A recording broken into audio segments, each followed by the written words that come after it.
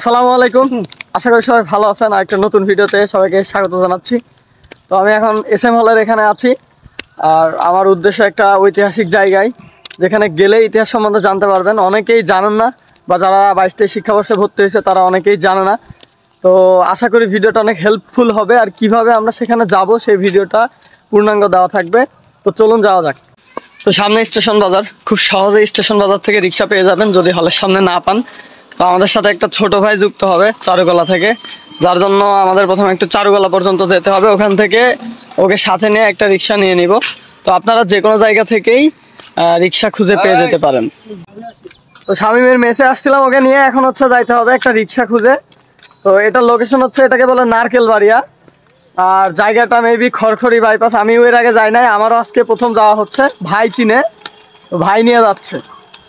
একটা রিক্সা নিয়ে আমি একদম রিক্সার ছাদে উঠে গেছি চান্দে। তো এখন আমরা যাব খড়খড়ি বাইপাসে। চারুকলার সামনে থেকে একটা রিক্সা নিলাম।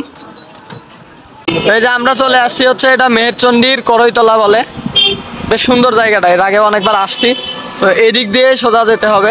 আমি খুব বেশি চিনি না, দেখি কোন দিক দিয়ে নিয়ে যাই। রাজশাহীর রাস্তাগুলো কিন্তু আসলেও অনেক সুন্দর। এর আগে আমি এই রাস্তায় আসি নাই। এটা হচ্ছে আপনার ওই যে কাজলা অক্ট্রয় মোড় থেকে সোজা যে রাস্তাটা আসছে ফ্লাইওভার হয়ে এইটাই হচ্ছে সেই রাস্তা। সোজা আসলে এরকম রাস্তাটা পেয়ে যাবেন।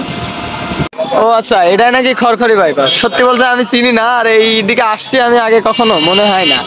এটা হচ্ছে রাঁচি বাইপাস এটা সরাসরি এই বেলপুকুর চলে গেছে। আচ্ছা এটা সেই বেলপুকুরে যাওয়ার বাইপাসটা এই রাস্তায় আমি আসছি সামনে মনে হয় একটা ইয়া আছে। মানে এই রাস্তাটা গেলে আমসত্তর সামনে আমি শিওর বরেন্দ্র বিশ্ববিদ্যালয়। তার মানে আমি এদিকে আসছিলাম অনেক আগে। কোন একটা স্মৃতির সময় আমার মনে পড়ে যাচ্ছে এই রাস্তা দেখার পরে। আর আমার সামনে যেটা দেখতে পাচ্ছেন এটা হচ্ছে বরেন্দ্র বিশ্ববিদ্যালয়। আহ, যারা এতদিন ক্যাম্পাস বিহীন ছিল অন্যের ঘরে ভাড়া নিয়ে থাকতো। তারা এখন নিজস্ব একটা বাড়ি পাইছে মানে ক্যাম্পাস পাইছে। তবে ক্যাম্পাসটা অনেক সুন্দর, আমি আজকে প্রথম আসলাম। কাছ থেকে দেখতে যথেষ্ট সুন্দর লাগতেছে। যদিও আমাদের একটা হলের সমান, তবে অনেক সুন্দর হ্যাঁ? জোস। একদম সামনে হচ্ছে মেইন রোড ওই মেইন রোডের মানে বরেন্দ্র বিশ্ববিদ্যালয় থেকে একটু আগে আসবেন, আসে দেখবেন যে বামে একটা রাস্তা। তো এই রোড দিয়ে হাঁটে আসলে সামনে এরকম মাটির রাস্তা পাওয়া যাবে। আর এই মাটির রাস্তা ধরে একটু আগাইলেই সামনে এই যে নারিকেল বাড়ি। আর যদিও আমি এখনও বুঝে উঠতে পারছি না আসলে কোনটা কি, এখানে একটা ভবন, ওখানে একটা, আমি কিছুই জানি না। ভাইরা যাচ্ছে, আমি পেছন পেছন যাচ্ছি। এখানে একটা সুন্দর বড় তাল পুকুর আছে। তাল পুকুর মানেই বড় পুকুর। আর বলে রাখি, এইটা হচ্ছে আমাদের রাজশাহী বিশ্ববিদ্যালয়ের কৃষি অনুষদের আওতাভুক্ত আছে এখনও। এখানে এখনও গবেষণা বা বিভিন্ন ধরনের ক্লাস ভিত্তিক ওয়ার্কগুলো এখানে হয়। আর ভাই বললেন যে এখানে নাকি বিষ মুক্ত ব্রয়লার মুরগি উৎপাদন হয়। দেখতে পাচ্ছি এই জায়গায় পোলট্রি খামার টাইপের কয়েকটা ঘর আছে। তো এইটাই হচ্ছে সেই ঐতিহাসিক নারকেলবাড়িয়া ক্যাম্পাসের টিকে থাকা একমাত্র ভবন। ওখানে লেখা আছে ভেটেরিনারি ক্লিনিক ও কৃত্রিম প্রজনন কেন্দ্র। মানে আমাদের এখানে রাজশাহী বিশ্ববিদ্যালয়ের ভেটেরিনারি অ্যান্ড অ্যানিম্যাল সায়েন্স ডিপার্টমেন্টের কার্যক্রমগুলো হয়। আর আমাদের একদম সামনে এটা হচ্ছে মডেল ভেড়ার কসাইখানা মডেল শিপ স্লটার হাউস।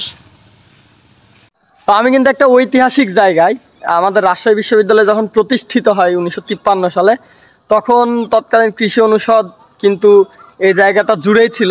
যদিও বর্তমানে ওই আমাদের সাতশো তিপ্পান্ন একর ক্যাম্পাস জায়গাটা নিয়ে গঠিত হয়, কিন্তু শুরুতেই একদম খাতা কলমে কিন্তু বিভিন্ন রাষ্ট্রের বিভিন্ন জায়গায় ছড়িয়ে ছিটে ছিল রাজশাহী বিশ্ববিদ্যালয়। জায়গাটা অনেক সুন্দর মানে এখানে বসে সময় কাটানোর মতো ভালো জায়গা। তবে আসলে দেখার মতো কোনো জায়গা নাই। পিকনিক করার জন্য আসা যেতে পারে স্পটটা ভালো।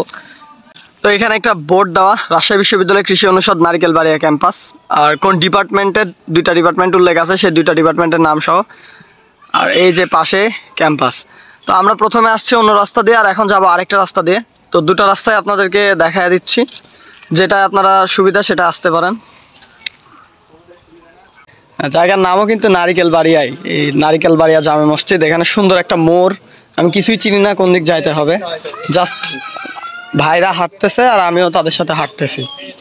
এমন একটা জায়গায় এসে পৌঁছালাম যেখানে অটো নাই, রিক্সাও নাই। এখন নাকি তিরিশ চল্লিশ মিনিট হাঁটে যাওয়া লাগবে। ভাইরে বলছিলাম সকাল সকাল আসতে, এখন ভাই এক ঘণ্টা লেটে আসছে।